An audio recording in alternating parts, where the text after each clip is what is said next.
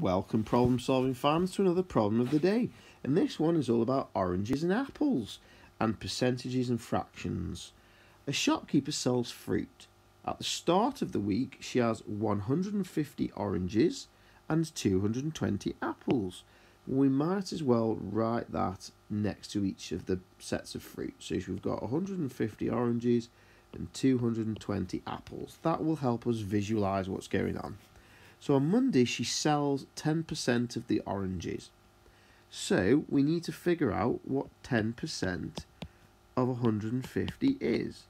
Well, 10% of 150, well, to get 10%, 150 is the 100%, because that's all of the oranges.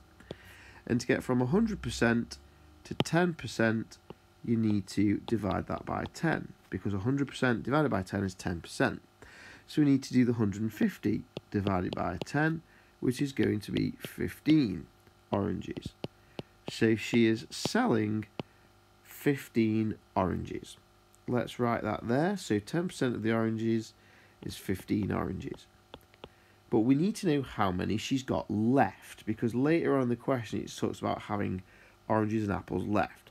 So if she sells 15, then that means we're losing 15 from the 150 that she started with. So 100 50, take away 15. You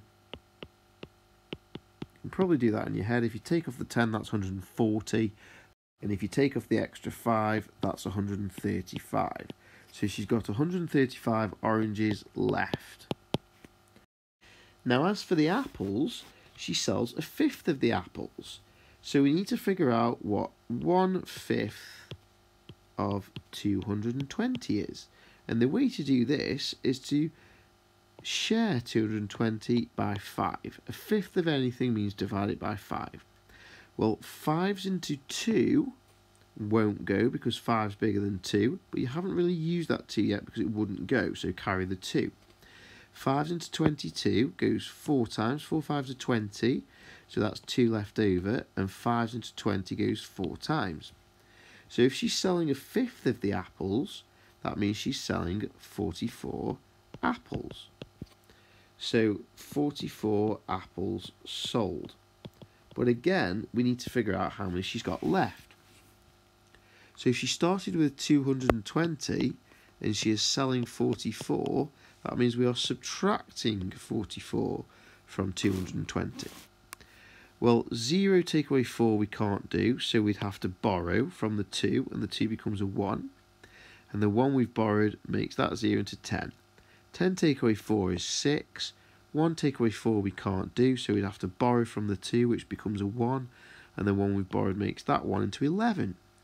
11 take away 4 is 7, and 1 take away this 0, invisible 0 here, 1 take away 0 is 1. So she would basically have 176 apples left.